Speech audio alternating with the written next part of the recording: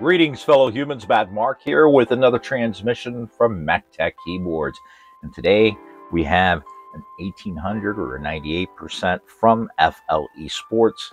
Um, maybe a lot of you, I'm guessing some of you will be familiar with the MK870. It was a really popular um, TKL that they put out. It had the plugs on the side that you could actually take them out and use them. It had three different USB-C plugs, which I mean, I guess I see if somebody wants to route it one way or the other, but the pocket was really deep.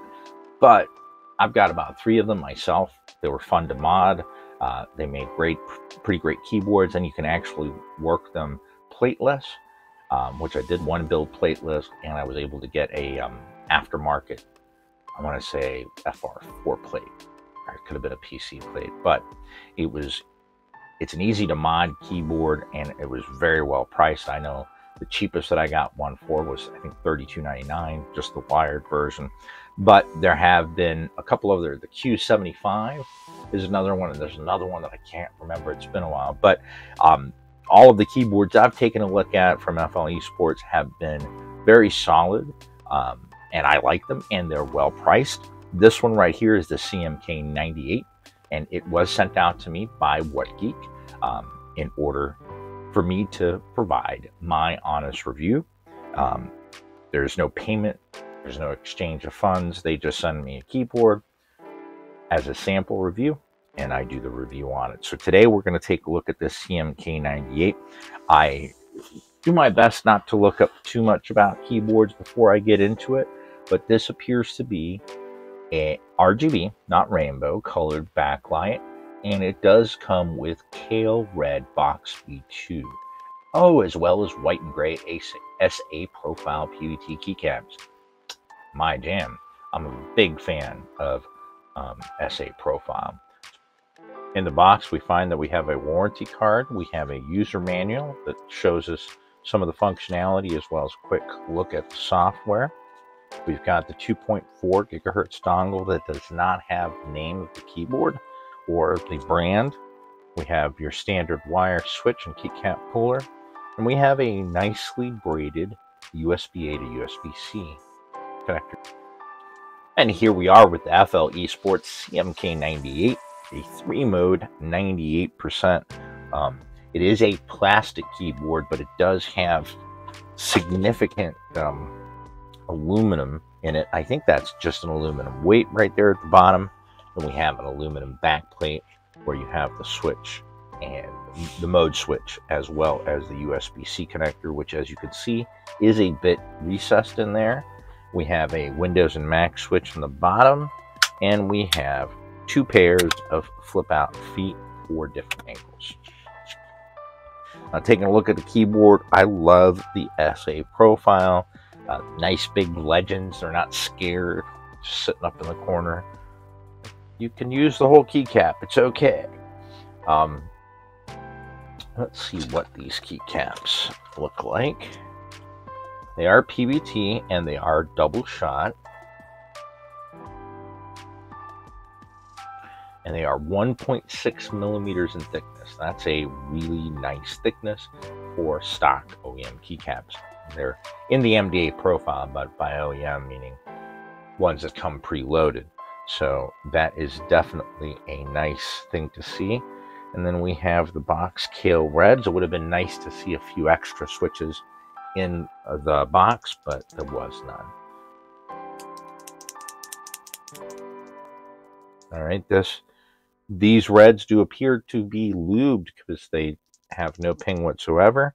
They're nice and light as reds are and have a pretty snappy um, well, we don't seem to have anything on top of the PCB. We do appear to have a silicone layer between the plate and the PCB. And tell me. Ah, it's a steel plate. I thought it was uh, kind of typed on it and it felt a little stiff, but I was kind of hoping for something better. Now, I mean, yes, there is an aftermarket. I'm sure there's already plates available for this. Well, I shouldn't say I'm sure, but I would venture to guess if I looked, I'd probably find it. And if nothing else, um, nowadays, just using your calipers in a few minutes, you can uh, create an STL file and either print one up yourself or go take it to your local 3D print shop and have them print it for you. And you've got a plate and a different material. Problem is, it's still going to be tray mounted, so it's there is no give. It's just going to have that hot, harsh bottom out. Uh, let's check out the stabilizers here. All right, we have some decent stabilizers, and they just have enough grease on them. They are definitely not over lubed, but they are lubed. And let's see.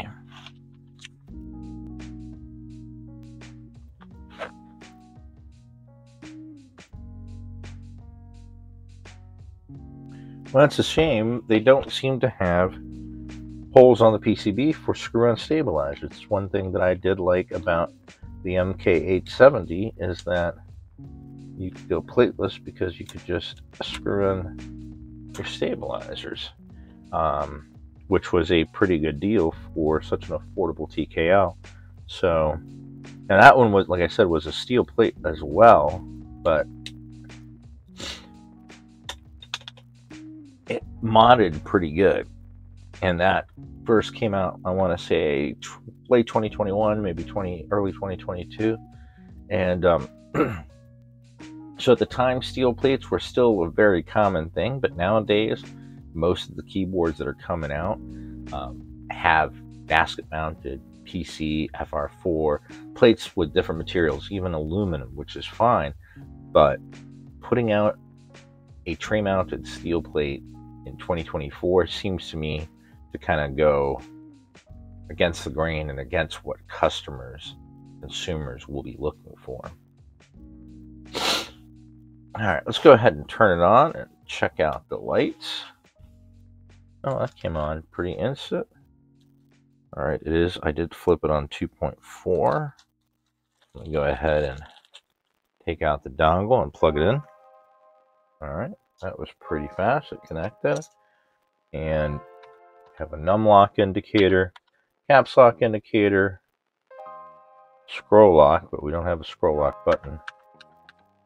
So, and guessing that's battery and charging. All right. Or is that mode? Switch this over to Mac. Nope, that doesn't change. So, I mean, obviously part of the weight for this keyboard, I'm going to guess it's got silicone below the PCB, but that steel plate is probably making up a good amount of that get when you see what the majority of the market is right now. That's what I don't understand. And, and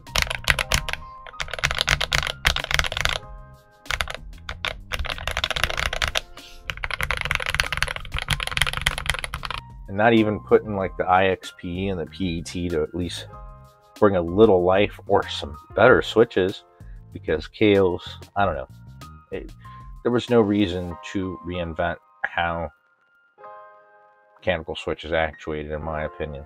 And I don't, um, not a big fan of the design of box switches from Kailh. So I really don't understand why one would choose to use Kailh as um, as a default switch or a box Kailh anyway. Um, don't get me wrong, there's a few that I like, but I mean, I like. I'm not going to lube them. I mean, if they sound good out of the box, that's fine. But taking them apart, if you you know want to actually lube, lube the leaf spring, you got to take the box cover off, and then if that button comes loose and you drop it, it's gone. That switch is done. Anyway, um.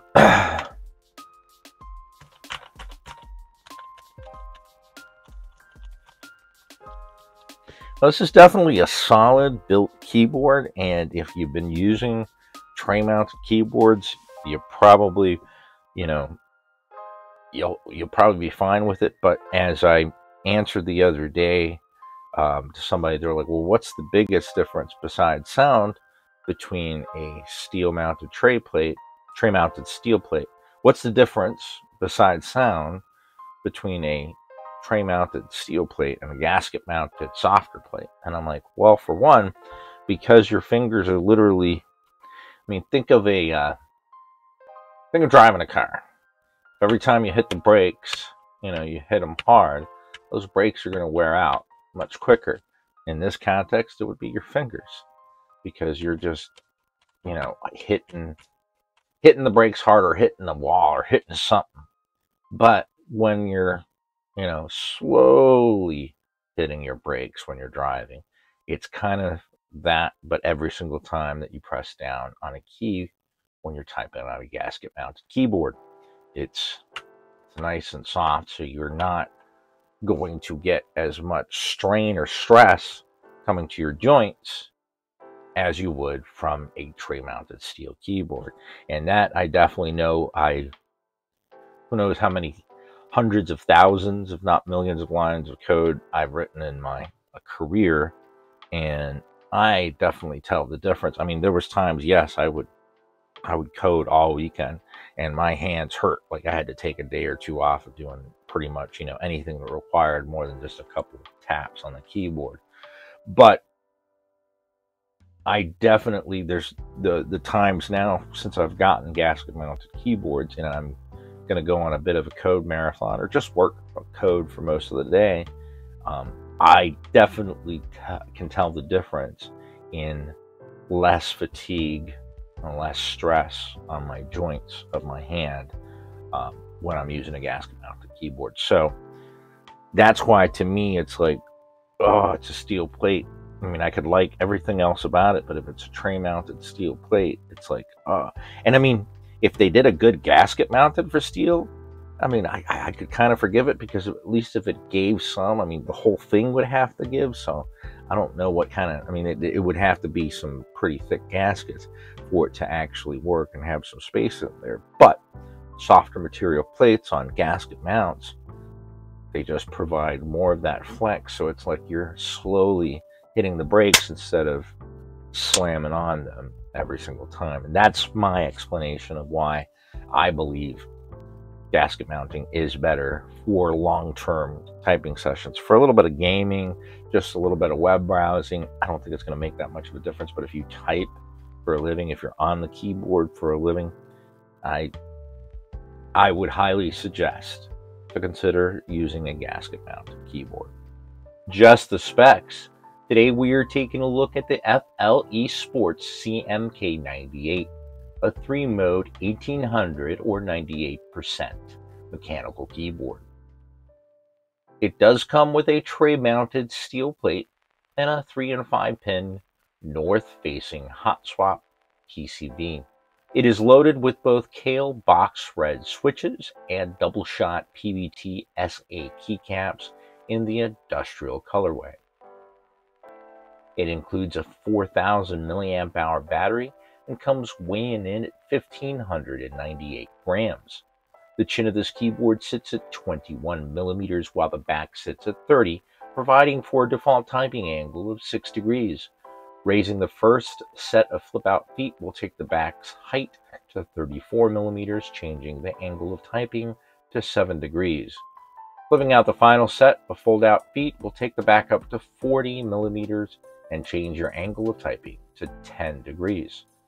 This keyboard MSRPs for $149.99. I don't know how I missed it. I actually do remember vaguely the blue and red version. There's several versions of this keyboard. Uh, there's a cotton candy. Um, there's a black, like seafoam, I think it's called. Um, and there was the red, white, and blue one which I vaguely remember seeing on Amazon. It was released originally in 2022. So I can kind of see, you know, where it's coming from. But I mean, I've run businesses, so I know, especially uh, uh when dealing with like things that change prices, like say RAM. Back in the 90s, we used to buy RAM. We'd buy it low, because sometimes it would go up, sometimes it would come back down, but we waited till it was at the lowest because we saw other companies suffer when they were like just buying it when they needed stock and they bought it whatever price of the day was. And RAM for a little while was almost like a, a stock market during the late 90s. And so we would stock up on it. Like, oh, the price is down to, I don't know, $30 for an 8 megabyte stick. yeah. Um, so we'd be like, all right, we're going to buy, you know, that's the most common. We're going to go ahead and buy up, I don't know, 300. And people be like, why? Why that many? You're only needing to build like two or three systems. Because then it would come around two months later, they'd be up to like $85 for the same same brand, same stick of RAM. And at that point, we didn't have to buy it because we had the stock and we had bought it when it was much cheaper.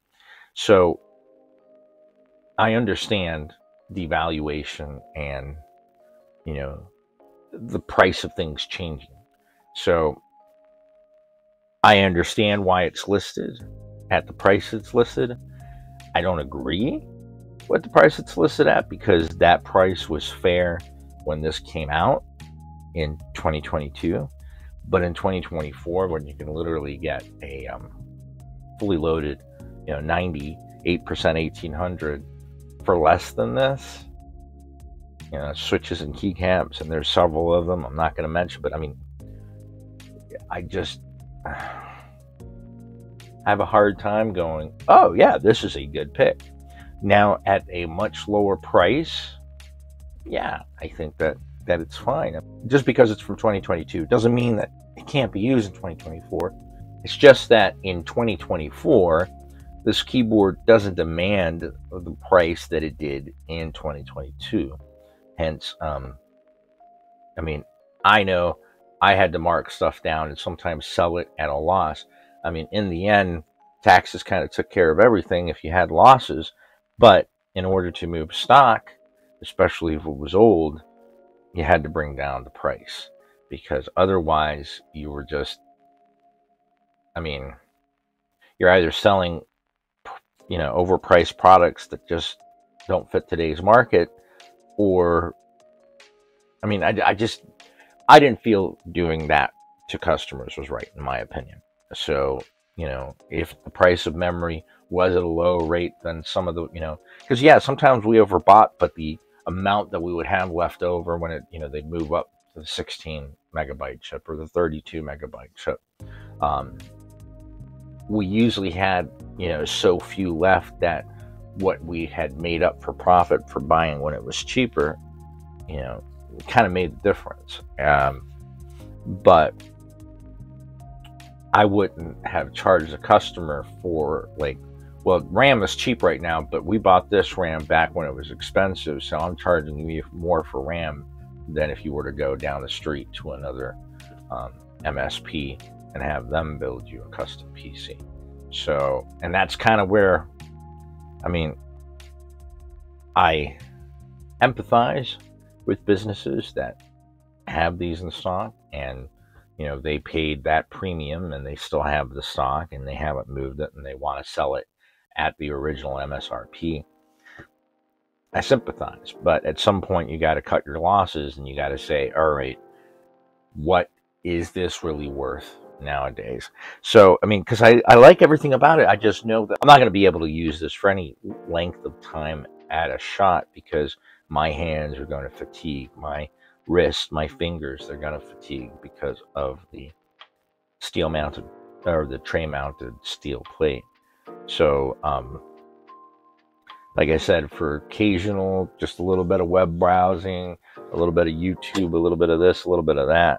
Um, I don't think many people are gonna gonna mind, but I still think that it should be cheaper. Now I do like a lot of the accents on here, but one of the things that I just don't get is why there's no pocket for the 2.4. This is a huge case. There's plenty of spots where they would put it underneath the foot and a little nudge in there with the pocket in there with the pocket on the side. Um, there's a lot of spots where they could have made a pocket for the 2.4 gigahertz dongle, and there isn't one. Um, I probably will come back to this keyboard and mod it because I know I can make it sound much better. I, I that that I know because I cut my teeth on modding keyboards like this. Like, all right, it's steel, it's it's tray mounted. I'm gonna make it sound good at least.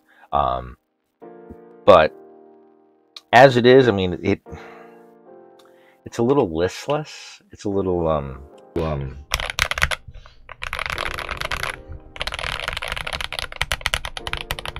it's not too loud, so I mean, I think it would work fine in an office environment, but it just doesn't have that oomph, that life. Um, the stabilizers sound okay. I know I could probably tune them and do a couple things to make them sound better.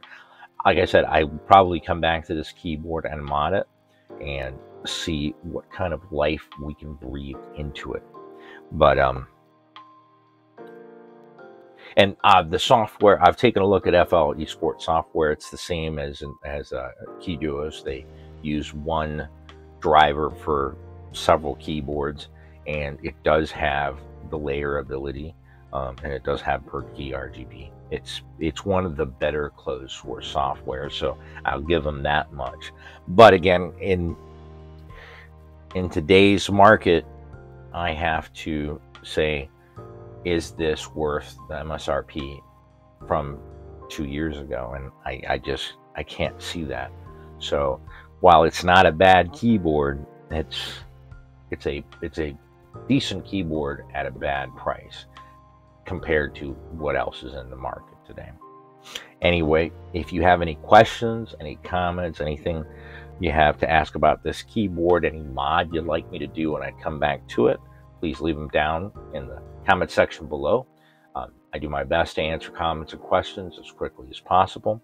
And if you enjoyed this video or any of my other videos, a like, a subscribe really goes a long way, and I truly appreciate it. Anyway, fellow humans, until the next transmission, keep calm and keyboard on.